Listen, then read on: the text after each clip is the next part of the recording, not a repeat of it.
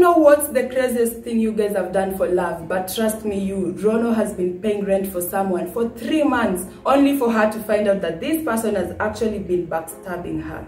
On an interview done a few days ago, uh, Chikirona Palevo, she had an, a panic at- attack uh, when she was telling her story Palevo on TV. Then uh, we saw the, the guy, the TV guys had to go for an emergency uh, break. Break. Then when they came back, tulimwona hakuwa pale bado kwa set, na hakuwa amerudi kwa set, tukasha ameenda.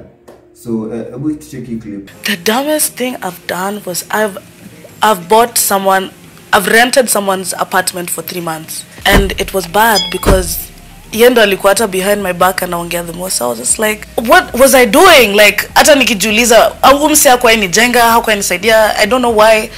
I can we like stop a bit Ah, tuendelee tu.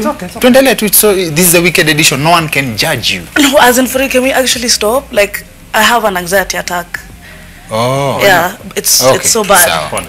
The worst regret personally can ever have, Kibenyo, is treating someone who's fake to me. Like just treating right someone who's fake to you. Man, I'm looking for these people who can. These people are treating others. I'm not fake. Mimi mimi real. Lakini nilipie miezi mbili. Trust me, Mr. Kubackstab hata.